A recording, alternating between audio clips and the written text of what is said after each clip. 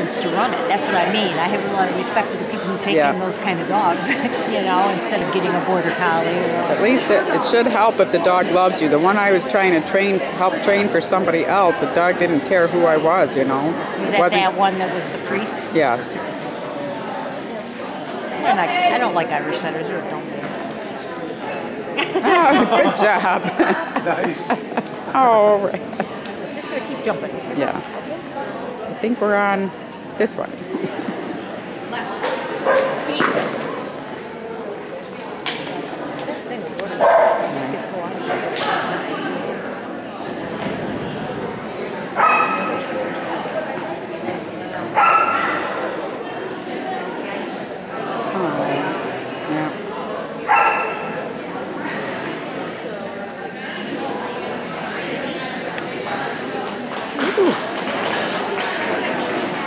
636.